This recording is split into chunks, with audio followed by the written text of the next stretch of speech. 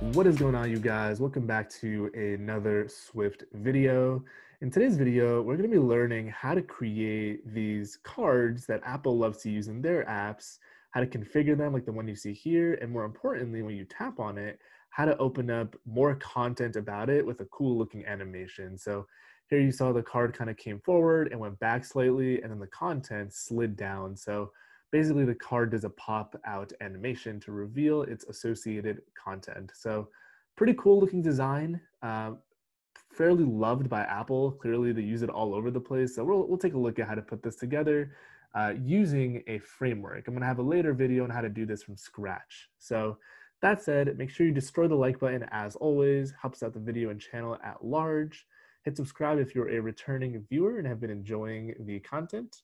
Get Xcode ready, get excited. Let's dig into some cards. Quick pause before we get into the video. If you haven't seen it already, I am hard at work putting together iOSacademy.io, a community where all of us iOS engineers can come together, learn how to build some of the top apps like Facebook, YouTube, and Instagram, in addition to interview prep to land some of these iOS roles at top tech companies.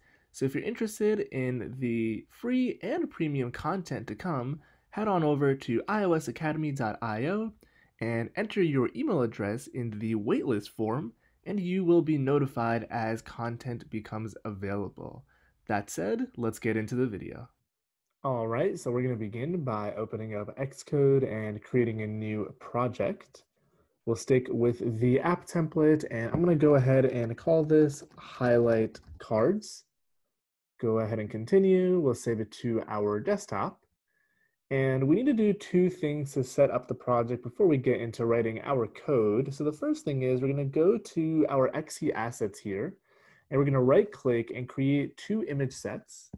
The first one is gonna be called icon, and the next one will be a background.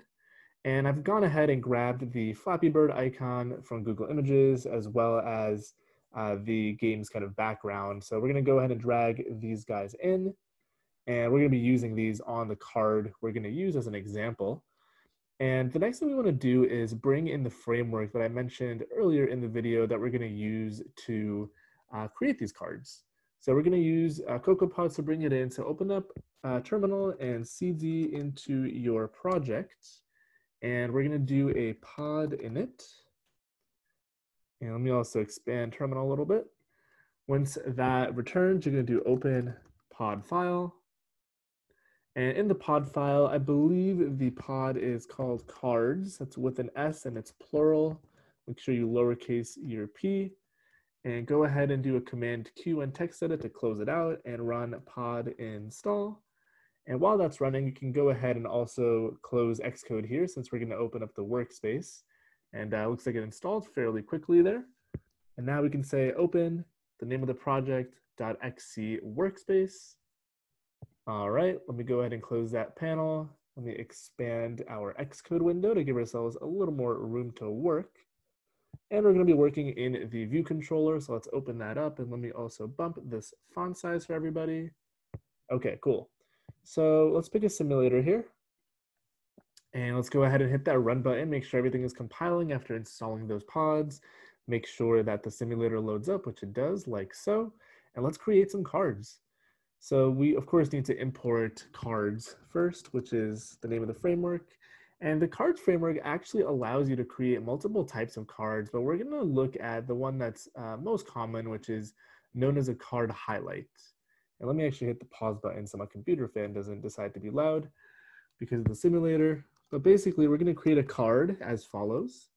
We're going to say card uh, is a card highlight. And basically in here, we're going to just configure a card highlights and it takes a frame and it's going to be zero from the start and we're going to assign the frame in view did load in just a moment. Uh, and the next thing we want to do is return the card down here. And this is where we're going to configure everything. So first we're going to say the background image is a UI image named background. I'm going to copy and paste that, and the next one is going to be icon.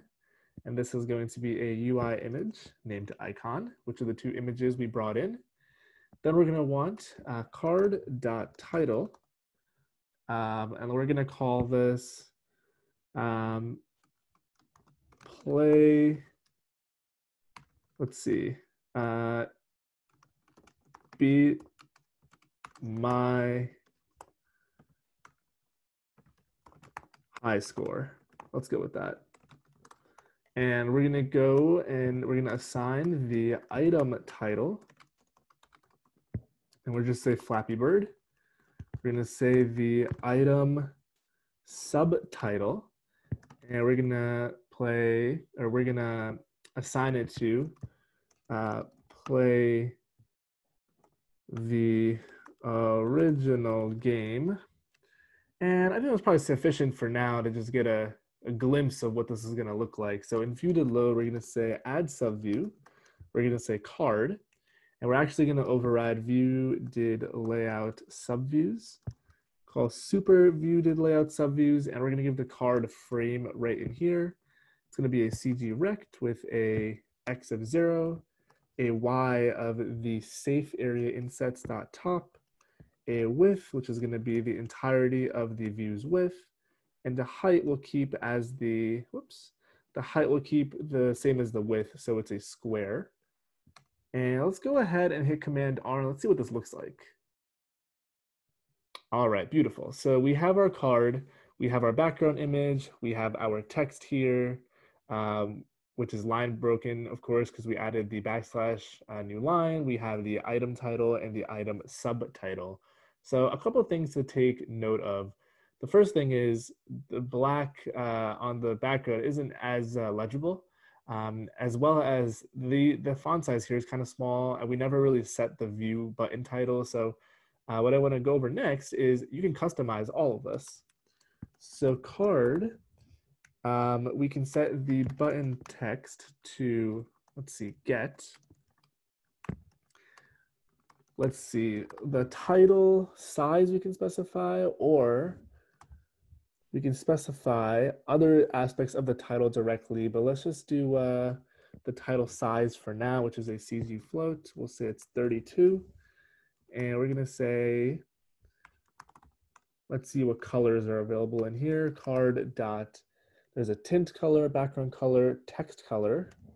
Let's go with white. And we're to say item title size is going to be, let's say, I don't know, 18. And let's leave the uh, item subtitle as is and just go ahead and run this. Let's see what it looks like.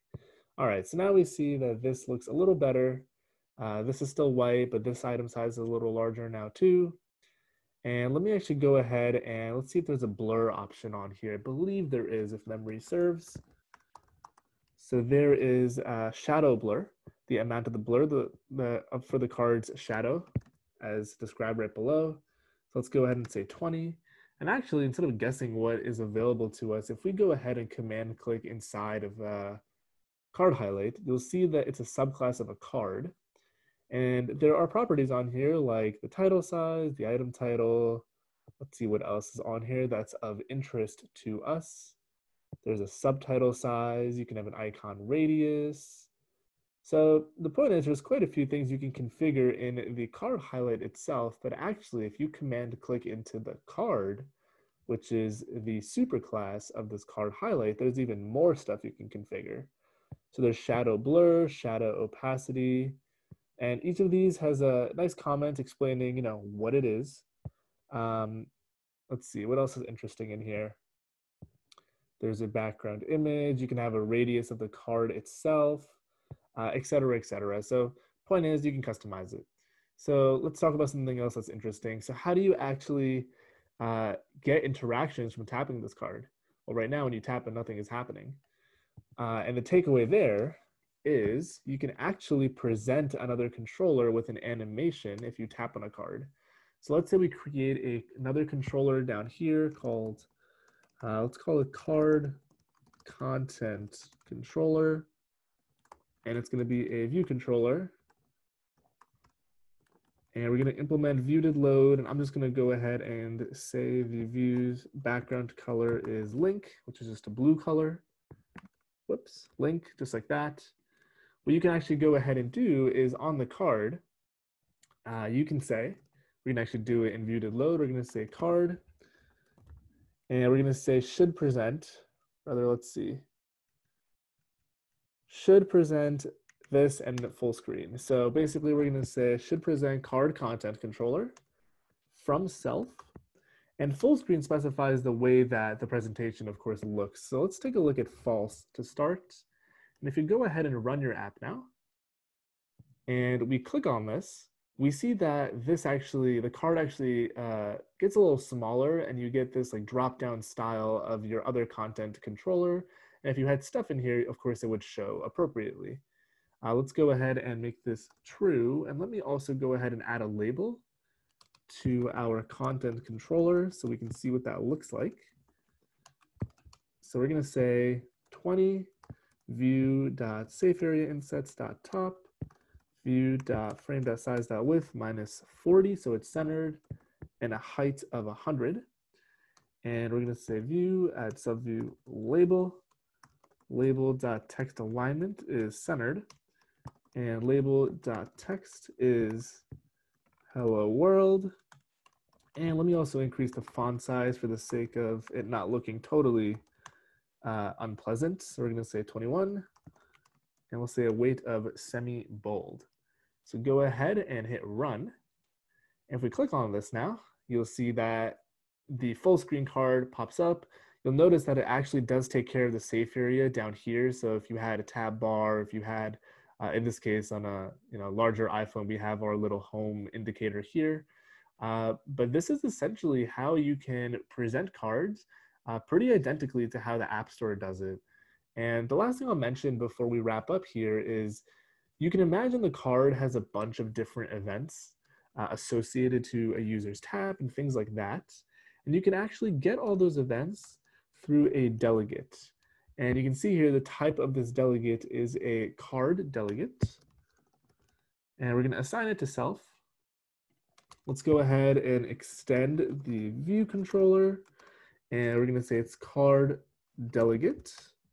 And let's click into this card delegate and look at all the functions we have available to us. There's uh, a couple in here. So there's did tap inside, uh, will show, uh, et cetera, et cetera, will close. Basically, if you want to update anything or if you want to, uh, if you want to notify that your other view controller, the card is about to dismiss itself, maybe you want to show an ad, maybe you want to reload your data, so on and so forth.